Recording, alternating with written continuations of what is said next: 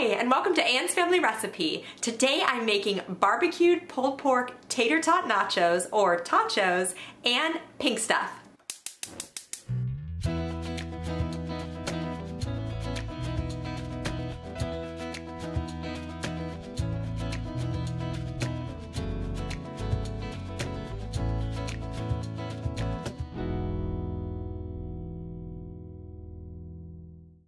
Story behind both of these recipes today. First of all, the tater tot nachos or totchos is an idea totally inspired by my friend Shaunna. Her YouTube channel is called The Dickinson Homestead and we've actually collaborated before so I'm going to link to her channel below, to her version of totchos below, and to our incredible pancake collaboration down below in my description box too.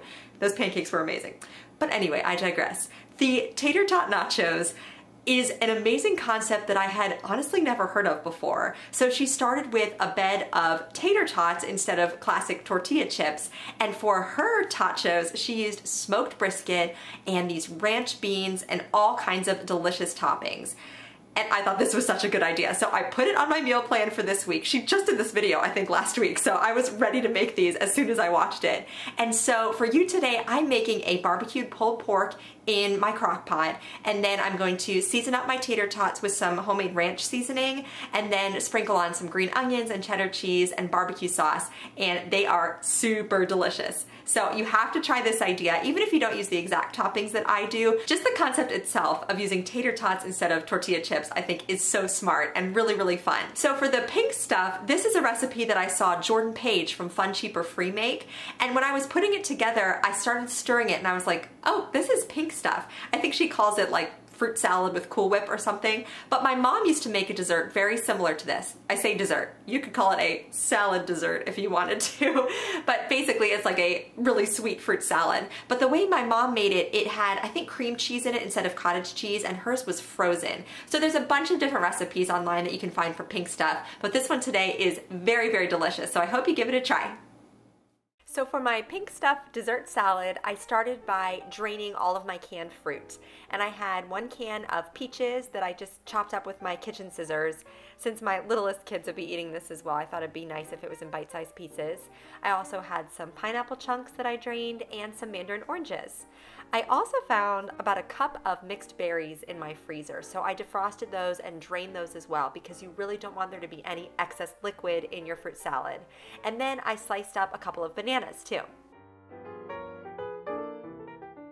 The next step is to add about half a large container of cottage cheese. So this was about 12 ounces and you can add it as is or you can puree it in your food processor which makes it nice and smooth, which is something I have never done before, but I loved the way it turned out. And I think this made the salad a little more appealing to my kids too. So I pureed it. You'll see here it comes out silky smooth. You could probably substitute sour cream in this recipe for the cottage cheese because it still has that tanginess, but it's a nice smooth consistency. So it just mixes in with all the fruit. So I added the pureed cottage cheese along with one package, it was three ounces of strawberry jello.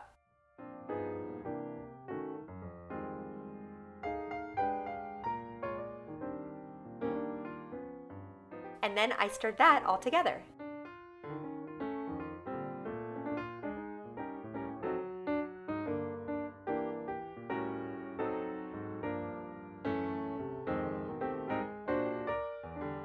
Lastly, I added one 8 ounce container of whipped topping and then folded that in gently until everything was combined. From there, I covered it with plastic wrap and popped it in the fridge until dinner time.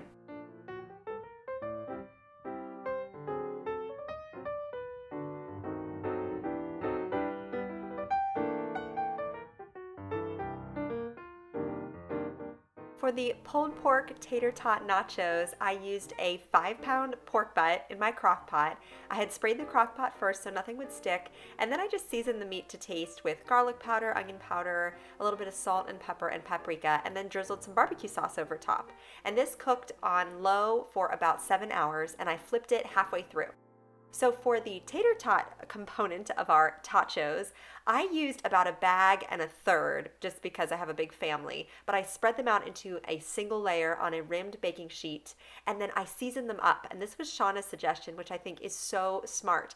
I buy seasoned fries or I make my own fries, but I never season up plain frozen french fries from the store. So I added like ranch seasonings. So I used garlic powder, onion powder, some black pepper, some dried parsley, and some dried dill. And they were really, really yummy. These baked according to the package directions, which was at 425 degrees for about 15 minutes. Then I flipped them all over and baked them for an additional 5 to 7 minutes or so until they were nice and crispy.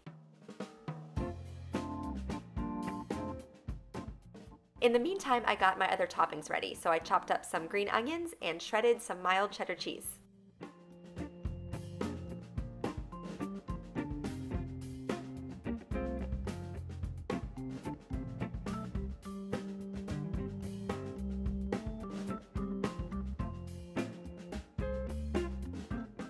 Once the pork had finished cooking, I pulled it out of the crock pot onto a rimmed cutting board, and this helps catch any juices that might drip out of the meat. And then I used two forks to just pull it apart, and it fell apart. It was super tender. And then as I'm going through, I'll just discard any little bits of fat that I might come across. But then I return the meat back to the juices to keep it warm and moist until I was ready to assemble my totchos. So the tater tots had baked and the pulled pork was ready to be spread all over the top. And then I sprinkled it with cheddar cheese and green onions and I also drizzled on some barbecue sauce. And then the totchos went back into the oven for a few minutes until the cheese was nice and melty.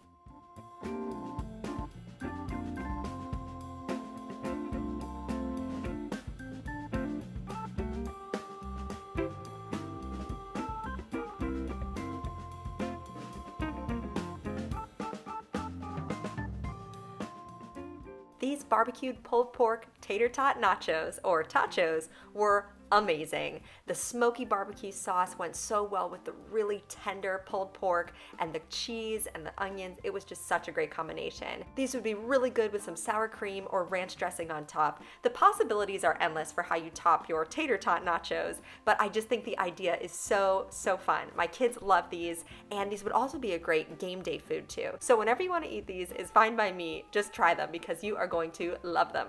Don't forget to subscribe to my channel, give this video a thumbs up if you like today's recipes, and follow me on Instagram at Anne's Family Recipe. Thank you so much for joining me here in my kitchen, and I'll see you again soon with another family recipe.